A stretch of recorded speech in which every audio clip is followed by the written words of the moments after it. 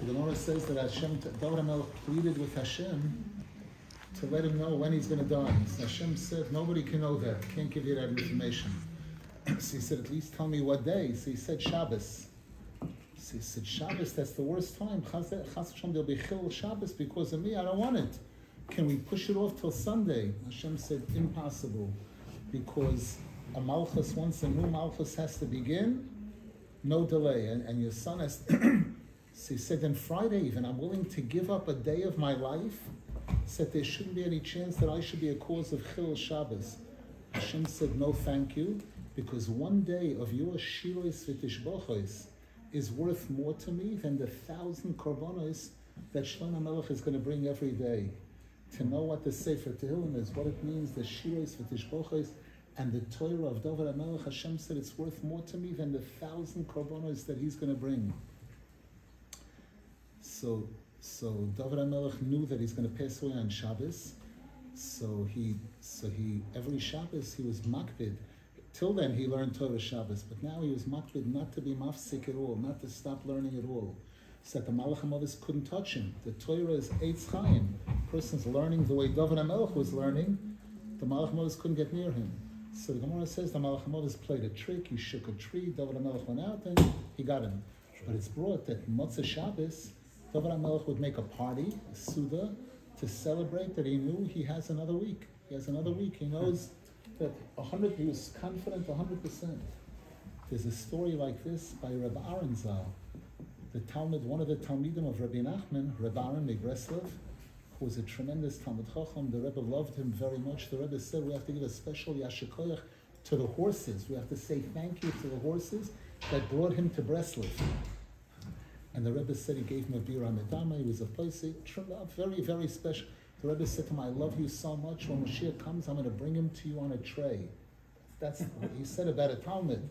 The Rebbe wasn't one to chan for anybody, certainly not a Talmud. That's the way he loved him so much.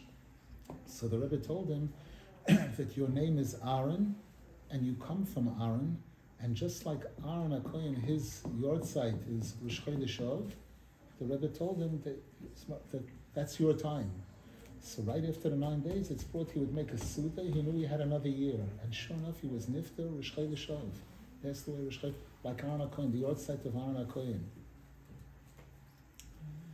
This Dovid HaMelech gave us the Sefer Tehillim. the Rebbe says that Tehillim is an incredible koyach. We know that now we're going into Shilas Tammuz and Tisha B'Av Churban Beis Hamikdash. So Muslim writes that the Beis Hamikdash was destroyed. What Shlomo HaMelech built was able to be destroyed. What David HaMelech did was indestructible. The Mokai Mikdash, that still continues to. That still retains its kedusha 100%. The Mokai Mikdash. So David HaMelech is what he did is nitzchi 100%.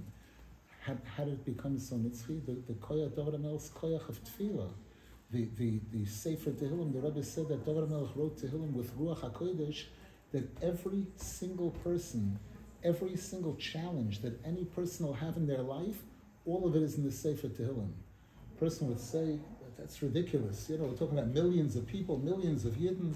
We know there's a story like this with the Ramban, that the Ramban had a Talmud one of the Ramban's Talmidim that went off the derech.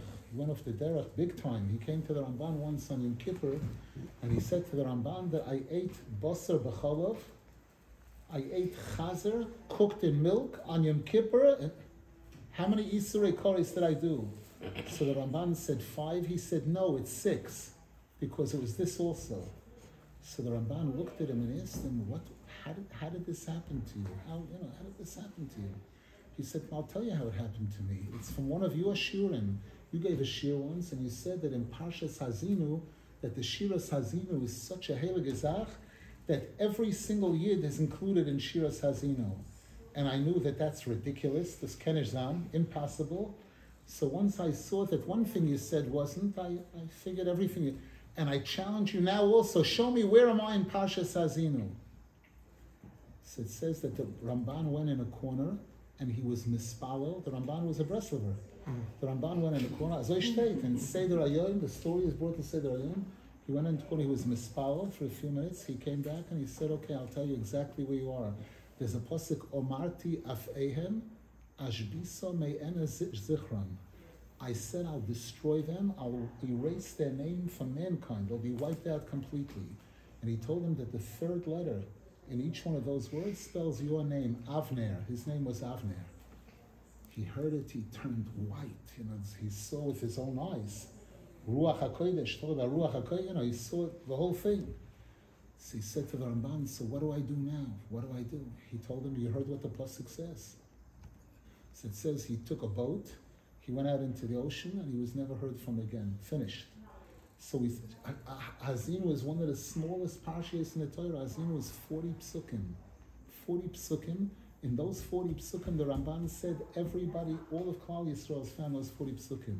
So if we talk about the Sefer Tehillim, there for sure, every single yid and every single matziv could be found in the Sefer Tehillim. So one of my rabbis, Reb Michel Dorfman, when he was in Russia, the Breslov used to write letters to him and he used to write letters back. Divrei Torah. So one time he wrote in one of the letters that the Rebbe says that when a person is saying Tehillim, you have to look, you have to search and find yourself in the Sefer Tehillim. When you're saying those kapitals, Shir HaMaalos, Mimamakim, Kurasich Hashem, each one of the psukim, person has to see his own matzav, where David Melech writes about his milchomas, everything to see. Person has to search and find himself in the Sefer Tehillim. So he wrote in the Sefer Tehillim, you have to search to find yourself. Reb gave us a Likutei Tfilos. There you don't have to search, there's no search.